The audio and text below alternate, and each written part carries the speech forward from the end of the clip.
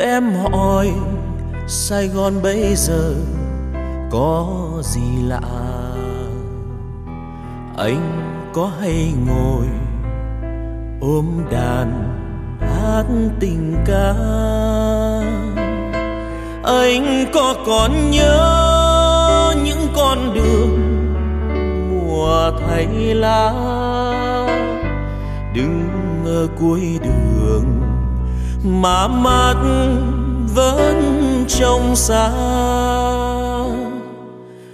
Thư em kể, nơi em đang ở, tuyết rơi đầy. Mặc áo lông cừu, ngồi sưởi ấm thật bình yên. Lòng anh chợt thấy thương quê nhà quá đỗi. Áo cơm đâu thừa để trông rét như em.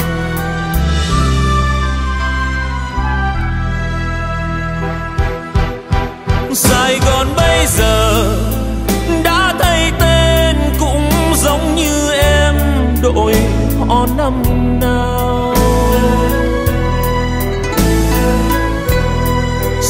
Còn môi cười giấu trong tim chỉ biết thương nhau bằng khoe mắt nhìn. Sài Gòn bây giờ, biết hôm nay còn sáng hôm sau, hỏi lại ơn đời. Sài Gòn quen dần, bước chân siêu và cố nuôi nhau. Nụ cười rất xa xăm. Em mua tặng, gửi về cho anh chút quà nhỏ. Để nhớ hương nồng, năm nào chút hơi quen. Em đâu có biết, thư anh viết thật chân tình là kệ oan. Là thư viết rồi anh không muốn gửi đi xa.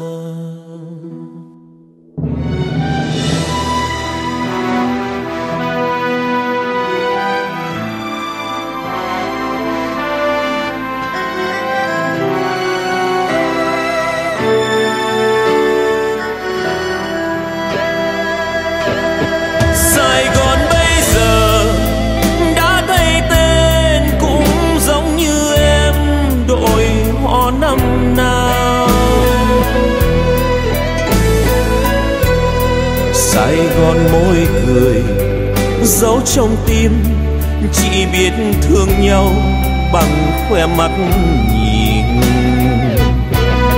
Sài Gòn bây giờ biết hôm nay còn sáng hôm sau, hỏi lại ơn đời.